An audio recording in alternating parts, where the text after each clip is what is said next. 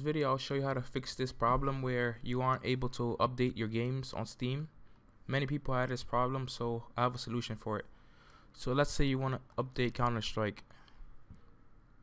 This would come up next. This window would come up.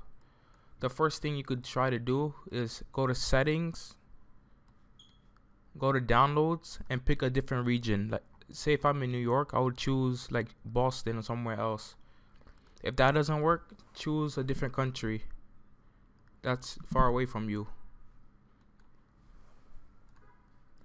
Next you could if that does not work at all you could press clear download cache then restart steam. This is the last step that actually worked for me because I had the same problem. You go to your firewall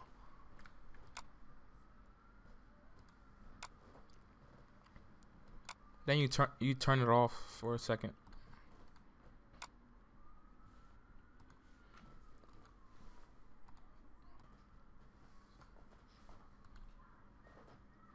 Oh see now the game is updating.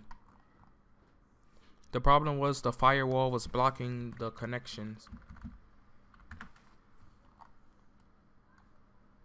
Then when you're done just update it again. I mean turn on the firewall again so that's all for now. Thanks for watching. Don't forget to like and sub if you have any suggestions. Just put them in the comments.